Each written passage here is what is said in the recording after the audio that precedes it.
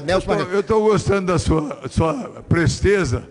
Põe aí o projeto dos caminhoneiros, nós dois aprovamos ela agora, a consenso. Você lê, eu coloco e aprova. A consenso. Eu acho que era a hora, hein, rapaz? Hein? Nessa balada aqui, a gente. Nós dois ficamos Nós na dois. história. Você, o relator, e eu aqui, presidente.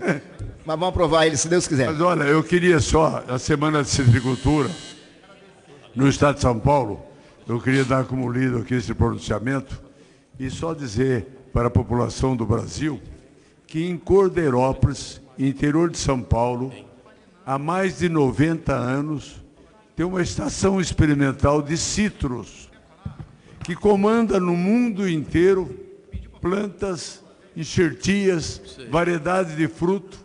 Lá nasceu as mais variedades de frutos brasileiras. Ela é o berço da citricultura brasileira, aonde nós exportamos mais de 3 bilhões de dólares de suco de laranja. Então lá foi homenageado vários professores, vários técnicos, vários agrônomos, que nós queremos mais uma vez aqui no Congresso Nacional parabenizá-los.